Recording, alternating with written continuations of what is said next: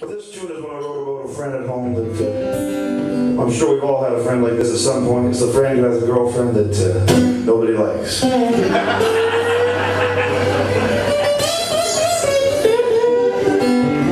If you sit there thinking you can't imagine which one of your friends that would be, chances are it's you.